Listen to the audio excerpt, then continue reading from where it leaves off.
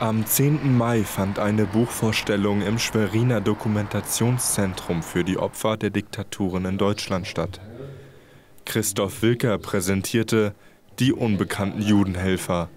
Das Buch erzählt die Geschichten und Schicksale von Menschen, die während des Holocaust jüdischen Mitbürger unterstützt und gerettet haben.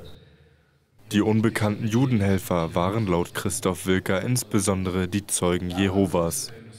Der Begriff die unbekannten Judenhelfer zeigt, das ist also ein neues Thema für die Öffentlichkeit, weil es bisher in der Öffentlichkeit nicht bekannt war, selbst unter Insidern nicht bekannt war oder kaum bekannt war, dass die Zeugen Jehovas so konsequent den Antisemitismus abgelehnt haben während der NS-Zeit, äh, was auch dazu führte, im Umfeld, wenn da äh, jüdische Bürger und Bürgerinnen lebten, dass man ihnen auch geholfen hat. Und da habe ich viele Beispiele, Erfahrungen zusammengetragen und in diesem Buch zusammengefasst.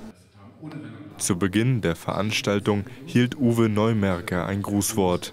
Er ist deutscher Historiker und Direktor der Stiftung Denkmal für die ermordeten Juden Europas.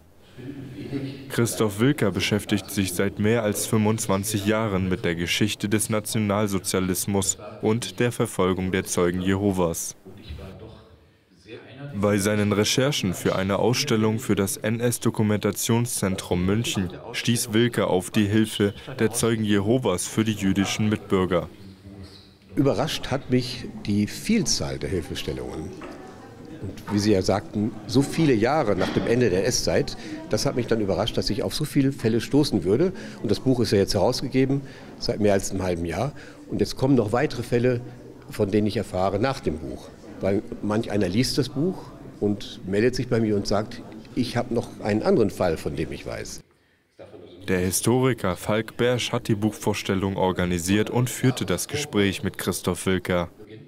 Christoph Wilker deckt mit seinem Buch eigentlich zwei Opfergruppen ab. Einmal ähm, die jüdischen Verfolgten, die aufgrund ihrer ähm, Abstammung eigentlich überhaupt keine Chance im Nationalsozialismus hatten, aber dann auch die lange Zeit vergessene Opfergruppe der Zeugen Jehovas, die sich ganz bewusst entschieden hat, Widerstand zu leisten und dadurch eben in die Fänge der NS-Justiz, des NS-Regimes geraten ist und ähm, die halt auch den jüdischen Menschen Hilfe geleistet haben, und zwar aus einer christlichen Grundhaltung heraus.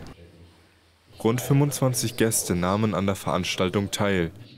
Im Anschluss konnten die Teilnehmerinnen und Teilnehmer sowohl mit den Buchautoren ins Gespräch kommen, als auch den Ausstellungsbereich des Dokumentationszentrums besichtigen.